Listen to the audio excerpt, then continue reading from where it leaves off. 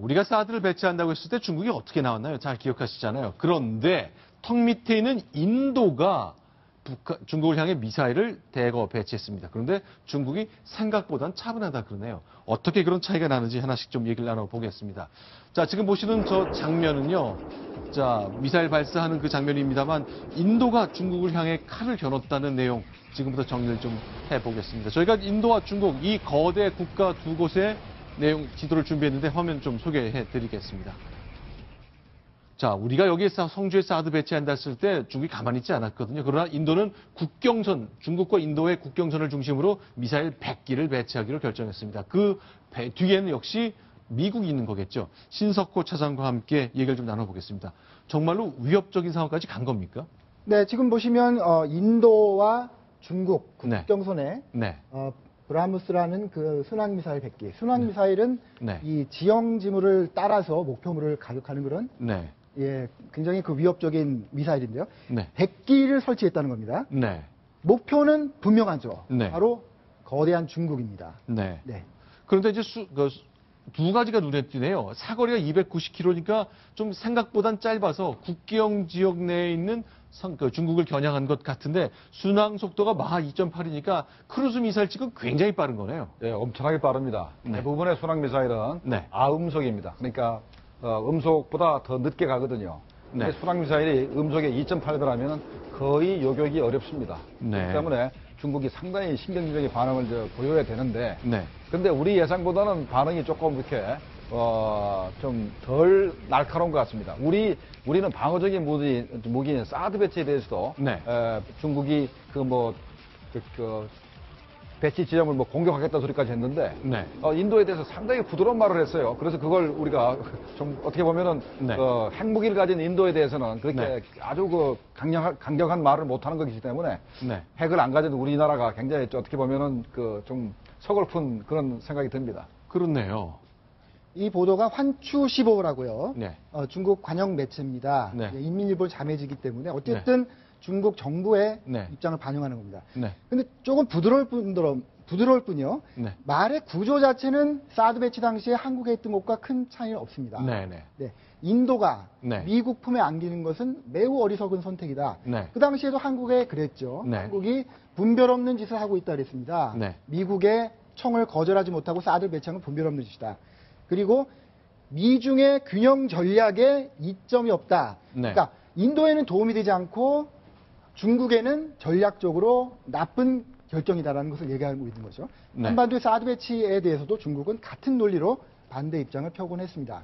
네, 지금 그 유해신을 계속 유심히 지켜보면요. 오바마 대통령 중심으로 미국 사람들이 인도에 끊임없이 구애를 하고 있거든요. 저희가 방금 전에 보여드린 영상도 오바마 대통령이 인도까지 가서 정상회담하는 건데 아주 중국과 인도가 경쟁 관계에 있으니까 인도와 손잡은 미국 때문인지 아주 환대를 받고 하는 모습 많이 볼 수 있었죠. 그렇습니다.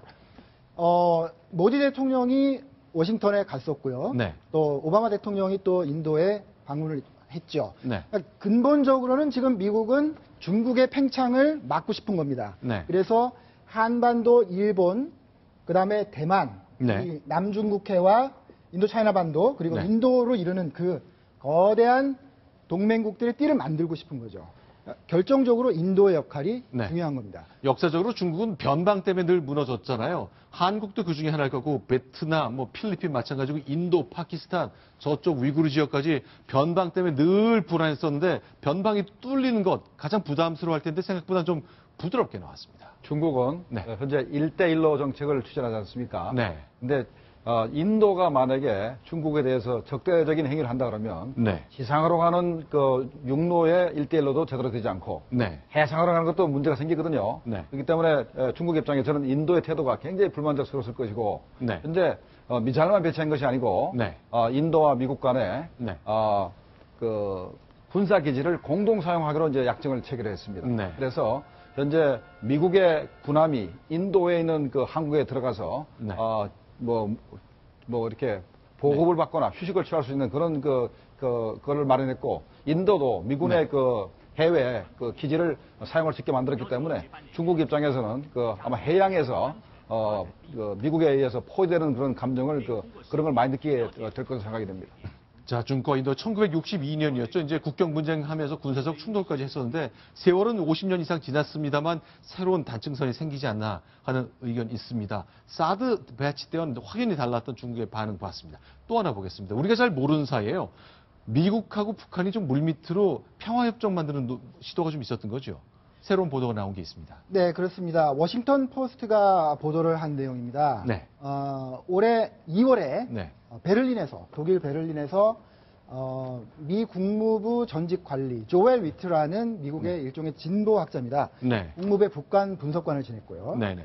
그리고 어, 북한의 이용호 외무성 부상이 네. 베를린에서 만났다. 그래서 평화협정과 또 비핵화를 맞바꾸는 그런 대화를 나눴다 하는 그 보도가 나왔습니다. 근데 이거, 네. 이것을 우리는 1.5 트랙이라고 합니다. 그러니까 네, 네. 당국 대 당국이 아니고 어, 당국 출신의 전문가들과 네. 북한 측의 당국자들이 만나는 1.5 트랙의 대화라고 하는데 네. 이런 식의 대화는 늘상 있어 왔습니다. 특히 북한이 미국을 좀 끌어내고 싶을 때 이런 그 미국 내에 있는 어, 진보학자들, 네. 이, 그 당국 경험이 있는 진보학자들을 불러내서 네. 어, 말을 걸고는 했죠. 네. 그리고 실효성이 있지는 않습니다만 어쨌든 어, 올 2월에도 그런 네. 시도가 있었다라는 게 보도의 핵심이 되겠습니다. 상대가 됐던 조엘 위트는 1994년 1차 제네바 합의를 통해 1차 북핵 위기를 그냥 잠시 동결시켰을 때 그때 이제 관여했던 인물이기 때문에 북한을 잘 알기도 하지만 좀 우호적으로 보기 때문일까요? 이렇게 접촉하는 모습이 하나 있었군요. 일단은 그 이제 공식 루트로 통해 가지고 네. 어 이렇게 최를 완으로 가지고는 힘드니까 네. 일단 1.5트럭 한번 가보는 것으로 생각이 뭐 되겠지만은 네. 그러나 북한의 태도가 워낙 그 뭐 똑같거든요. 네.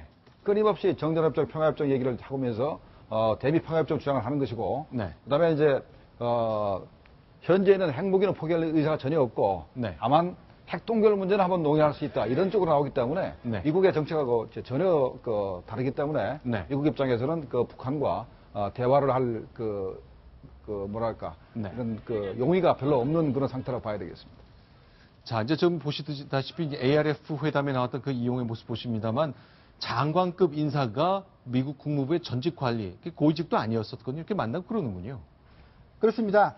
어, 이- 좀 전에 알려진 내용은 저희 동아일보 보도했습니다. 최선희 네. 국제회담 차석 대표가 베를린에 갔다 이렇게 알려졌는데 네. 이번 워싱턴 포스트 보도는 최선희와 함께 네. 이용호도 갔다 이런 거죠. 그러니까 그만큼 북한으로서는 미국과 대화하고 싶다는 네. 제스처를 보여줘야 되는 거죠. 네. 그러니까 이용호 같은 거물이 나가는 겁니다. 물론 네. 미국은 그런 제스처의 의미를 그 속임수를 너무나 알고 있기 때문에 네. 이렇게 이런 그 접촉에 대해서 크게 비중을 두지 않는 그런 분위기입니다. 알겠습니다. 자, 한반도 주변에 우리 우리가 잘 모르던 가운데 물밑에서 벌어지는 상황, 의식이 포착한 상황까지 저희가 정리를 해봤습니다. 자, 지금까지 두 가지 소식 통해서 외교안보 상황 좀 점검해봤는데요. 신석호 차장 그리고 김정복 교수 인사를 드리겠습니다. 고맙습니다.